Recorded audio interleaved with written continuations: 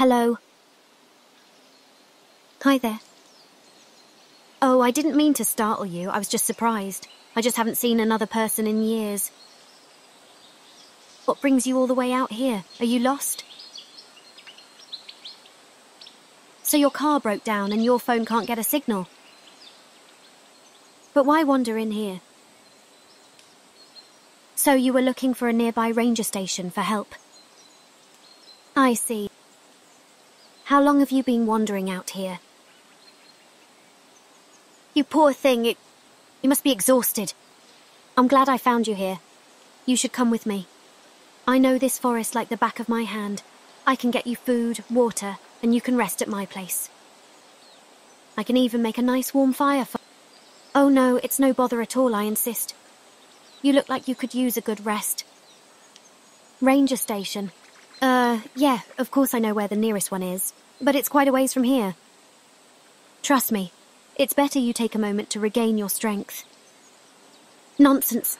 I can't allow this. It's too dangerous for you to be walking out there in this state. You really need some rest, dear. Take it from me, who's lived here practically all my life. Come with me, and I'll make sure to protect you from the wilderness. Look, I'm not trying to be pushy, but I really think you should come with me. I have food, water, and a warm place to sleep. It's not safe to be out here all alone. Come on, it'll be fun. I can even show you lots of cool places no one has ever seen. I know you'll love it. Don't be silly. Of course you can trust me. I promise I'll keep you safe here. I'm not asking for anything in return. Won't you just let me help you? Well, I won't take no for an answer. You're coming with me, whether you like it or not. Hey, where do you think you're going? Stop, you can't leave me. Well, it looks like you've given me no choice.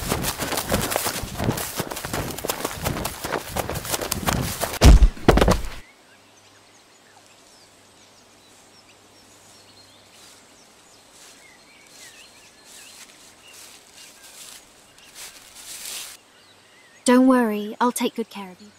Just relax.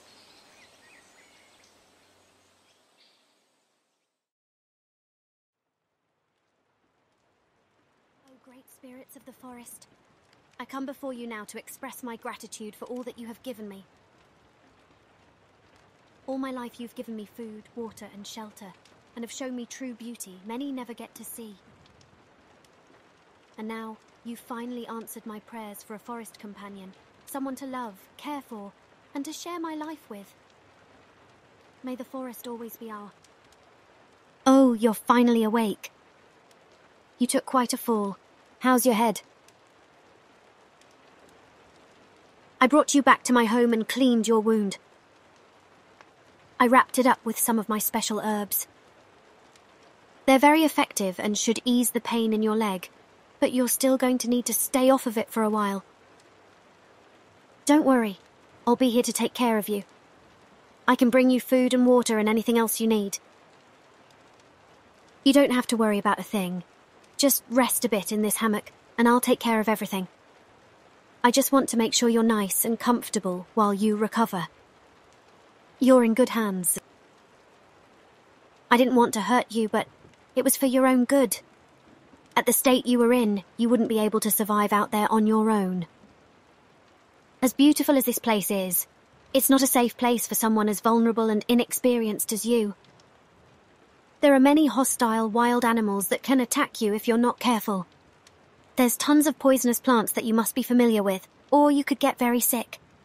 And the terrain itself is also quite treacherous. There are tons of steep hills, rocky outcroppings, and hidden ravines that can be very dangerous if you're not paying attention. I'm so glad I found you before something bad happened. Someone as small and precious as you wouldn't last very long out in the wild. Oh, don't lie to me. You strike me off as a city boy. I bet you've never even climbed a tree before. And can you even start a fire without a lighter? I didn't think so. Ranger station. Yeah, I'm sorry, but I kinda lied about the ranger station to convince you to go with me. No other humans have ever been in this forest. Phone? I'm afraid you'll find no phone in here. Why would I need a phone to connect to the world outside the forest when I have everything I need right here?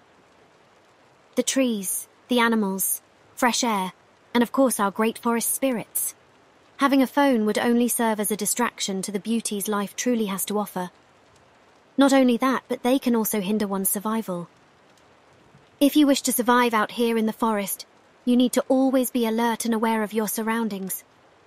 Glued to the screen, you could miss a movement or sound made by some creature that could mean the difference between life or death. That's why I'd done away with your phone and watch. You won't need those frivolous devices anymore. Huh? Home? Oh, sweetie, the forest is your home now. Everything you'll ever need is right here. Why would you want to go back? Why worry about all those bills, rent, constantly working, and all that stuff when you can just live off the land and enjoy the beauty of nature? I know it may be hard to believe, but living in the forest is the best way to live. Free of stress, work, and an overall simplistic life. I've lived in the forest for as long as I can remember, and I wouldn't have it any other way. Just imagine waking up every day to birds chirping and the sun shining through the beautiful trees. Never having to worry about getting to work on time or traffic. Always enjoying the peace and quiet. You also don't need any silly, gimmicky gadgets here. All one needs is the basic necessities such as food, water, shelter, and love. The best part about living here is that it's all natural You'll never have to worry about pollution, chemicals, or things like that. Our lovely forest spirits provide all the fresh air, clean water, and organic food that one can ever desire. You know this was truly the way us humans were meant to live, right? Humans are so cruel, always taking away from the forest and never giving back, always poisoning our sacred waters, cutting down all of our beautiful trees and destroying thousands of ecosystems but I know you're not one of them. I can sense the goodness in your heart. And I know our beloved forest spirits would gift me the perfect man to relieve my loneliness. Oh, don't be sad. I know how you feel. I used to feel so lonely in the forest, being the only human around. But then I found you, and I felt so happy and excited. You're like a breath of fresh air, bringing new life and energy to the forest. And I know that the forest spirits are just as excited as I am because they've been sending me all these signs and omens. They're telling me that you're meant to be here, that you have a special purpose in the forest. And I believe them because they've never let me down before. So let us embrace this new adventure together. We're going to have so much fun together. We can go on hikes, make cute bracelets, and explore the most sacred parts of the wilderness. You and I can forge a life together based on love, simplicity, and nature. Doesn't that sound just lovely? No? Well, I'm sure you'll come around eventually. Anyway, I don't believe we've formally introduced ourselves yet. What is your name? Oh, what a lovely name. But if you don't mind, I think I'd rather call you something that I feel is more personal and shows my affection towards you. And also, your new connection to the forest. So, my precious little one, how about I call you my nature nugget? I don't know, I kinda like it. okay, fine. Maybe we can change it later if you really want to. Who am I? Well, I guess I never was actually given a name. I'm just a girl who's been self sufficient within the woods. I've observed many paths, many creatures, many plants. I've seen the seasons change numerous times. I've witnessed so many animals come and go. This is what my world has always been. The forest spirits are what allowed me to get to where I am now. They've always been there to guide me through the forest, helping me pass through many challenges. I am truly thankful to them, and I know that as long as we listen to them, we'll find the right path. Oh, I have an idea. Since I gave you a name, how about you give me one? Lily? Hmm. That's so perfect. I love it so much. I've always loved the smell of sweet lilies in the forest. See?